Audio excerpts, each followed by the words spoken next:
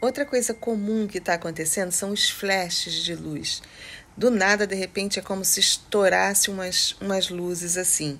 Isso também é devido à mudança de frequência. A, na verdade, a nós estarmos é, captando outras ondas que até então a gente não captava. E a gente está tendo explosões eletromagnéticas na nossa na nossa psicosfera mesmo, né? No, em, ao nosso redor, no nosso campo eletromagnético, a gente está tendo essas explosões.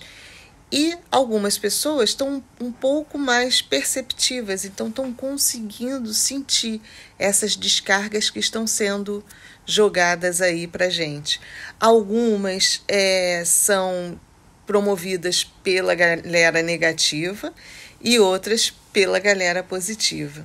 Então, faz parte desse momento nosso de transição, gente. Não se